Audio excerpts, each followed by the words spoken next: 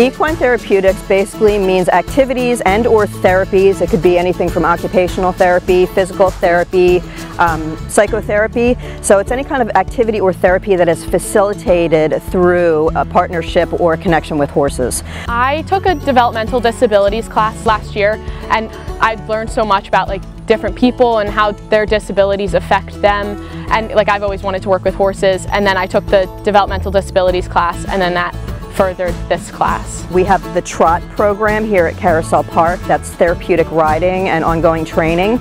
Um, and we provide riding lessons, therapeutic riding lessons to individuals with special needs. Uh, Path International, that's the Professional Association of Therapeutic Horsemanship, and it is the umbrella organization that certifies instructors who will provide equine assisted activities um, and therapies as well. The objective of the course and the program itself is to prepare students for the certification process and to walk them through that, that certification process to become certified therapeutic riding instructors. And they can come from an array of backgrounds, such as an educator's background, or uh, a psychology background, or a social work background. I just wanted to get more experience with larger animals, but also with disabled kids, and I wanted to see how a horse um, helps a disabled kid or someone disabled in general.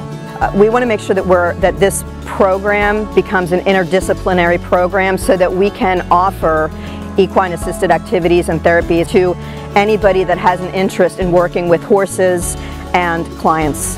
Those types of activities really help help you to just look at life in a little bit of a different perspective um, than what you normally would and it's, it's a perspective that you can take out of the arena and into your life.